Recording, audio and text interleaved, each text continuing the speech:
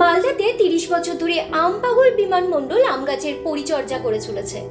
নেশা তার বিরল প্রজাতির আম গাছ সংগ্রহ করা। তার সংগ্রহে রয়েছে প্রায় একশো পনেরো প্রজাতির আম গাছ আশ্চর্যজনকভাবে তার সংগ্রহের প্রতিটি আম দেখতে যেমন মুহূর্তের নামও বলে দিতে পারেন তিনি।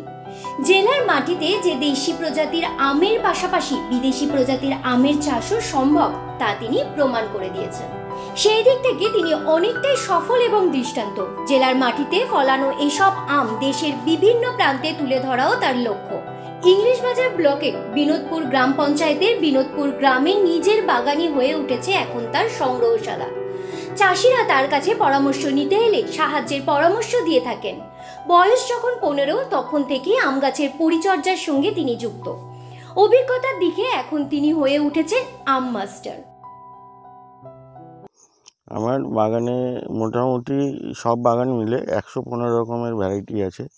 তার মধ্যে মানে দেশি ভ্যারাইটিটাই বেশি এবং বিদেশেরও বেশি ভ্যারাইটি আছে। থাইল্যান্ড, জাপান, বাংলাদেশ হ্যাঁ এবং আমাদের পার্শ্ববর্তী রাজ্য মুর্শিদাবাদ, মহারাষ্ট্র হ্যাঁ পার্শ্ববর্তী জেলা মুর্শিদাবাদ আর মহারাষ্ট্র কিছু ভ্যারাইটি আছে। Bureau report U Bangla TV. আমাদের সম্প্রচারিত খবর যদি আপনাদের ভালো লেগে থাকে, তাহলে সাবস্ক্রাইব করতে ভুলবেন না। ইউ বাংলা টিভি, হৃদয় ছুঁয়ে যায়।